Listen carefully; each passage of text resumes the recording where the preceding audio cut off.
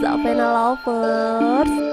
Jangan lupa klik subscribe dan komen Serta klik tombol loncengnya ya guys. Klik sosial media kami supaya kamu tidak ketinggalan berita terupdate dari channel kami.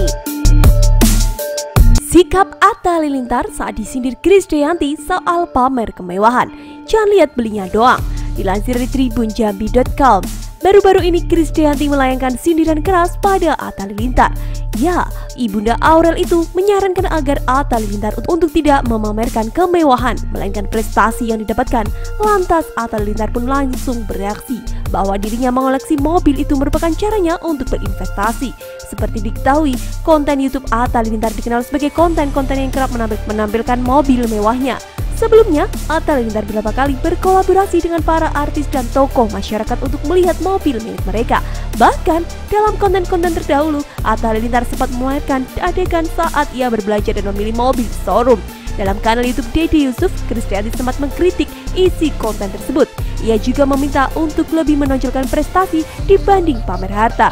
Di sisi lain, ternyata Atta Lilintar membeli banyak mobil dengan tujuan investasi. Pasalnya, ia sempat mengaku ingin terjun ke bisnis jual beli mobil. Mobil-mobil miliknya tersebut ternyata juga berguna untuk menunjang pekerjaannya.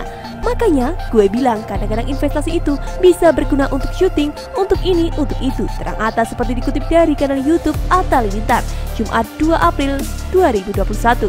Betul, Saud Aurel. Atta Lilintar menjelaskan, alih-alih mengamburkan uang, tujuannya membeli mobil tersebut justru bisa menghasilkan lebih. Jadi, kita beli mobil tuh bukan berarti buang-buang duit, tapi buat dipakai kerja, buat dipakai bikin sesuatu, jadi menghasilkan, tutur Atta. Nanti dijual juga nggak rugi, begitulah cara berpikir yang harus pintar. Karena kita beli harus berguna ada manfaatnya, imbuhnya.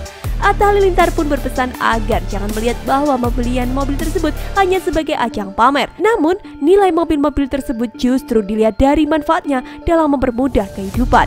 Jangan lihat beli-belinya doang, tapi lihat habis itu kegunaannya, tandasnya.